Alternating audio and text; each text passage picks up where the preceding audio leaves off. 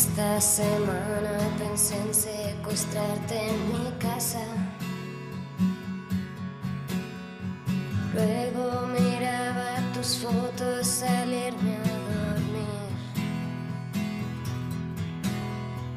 Quiero saber cómo eres, saber qué te pasa y por fin que me conozcas y que te enamores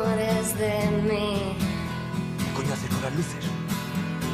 Todas las noches me acuesto y te busco en mi cama y tú nunca estás, pero sé que mañana ya nunca podrás olvidarte de mí.